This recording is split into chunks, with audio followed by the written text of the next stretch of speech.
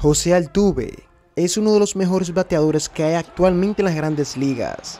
Su gran destreza con el bate y lo oportuno que es, lo convierte en un bateador muy pero muy peligroso.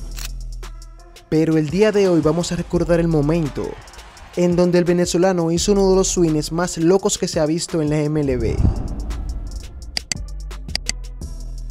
Si queremos ver este swing tenemos que irnos al lunes 22 de septiembre del 2014, en un duelo entre los Astros de Houston y los Rangers de Texas.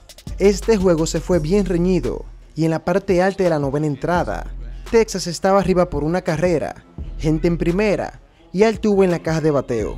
Y en conteo de cero bolas y cero strikes, el dominicano Roman Méndez bajó con una recta altísima y Altuve pegando un salto realizó este salvaje swing para así pelarla y golpear al receptor contrario.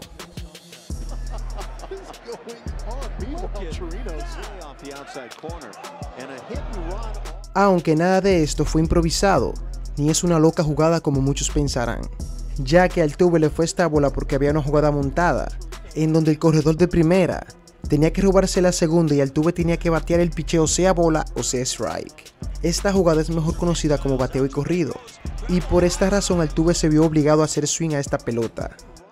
Esta estrategia es una alternativa al toque de sacrificio, jugada que busca hacer avanzar a los corredores a la siguiente base, ya sea que haya uno en primera, segunda o en ambas bases. Pero el bateo y corrido es más arriesgado, porque si el bateador conecta una línea corta y la defensa logra capturarla, es un doble play fácil. También si el bateador abanica la bola, puede que saquen al corredor en segunda o en tercera base, dependiendo la situación. Pero todo sacrificio tiene un riesgo, y si todo sale bien esta puede ser una potencial carrera, y más si el bateador conecta la bola de hit. Aunque el venezolano no ha sido el único en hacer esto, ya que han habido muchos bateadores que han tenido que hacer swings a picheos peores que este, para así proteger al corredor. Y también el caso de Vladimir Guerrero fue a otro nivel, ya que le hizo swing a este picheo malo, mientras tenían montada esta jugada de picheo y corrido, y logró disparar un hit. Y dime, ¿qué te pareció esta jugada?